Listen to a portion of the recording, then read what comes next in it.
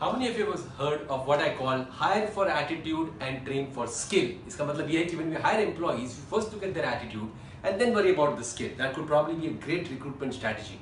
Shouldn't that be also our vendor strategy? मतलब एक किस्सा सुनाता हूँ quickly. You know, hire a vendor for attitude and then for the skill if you have a choice because I'll tell you a situation a, a, a crazy situation हमारे end पर where we wanted something to get delivered I have two vendors to work with one of them you know kicking and screaming complaining कि भाई time नहीं है बहुत देर बताया आपने कैसे करूँ ये वो करके end में kicking and screaming he did it the other vendor with the same time दूसरी चीज के लिए लेकिन he said you know what no matter what we're going to get it done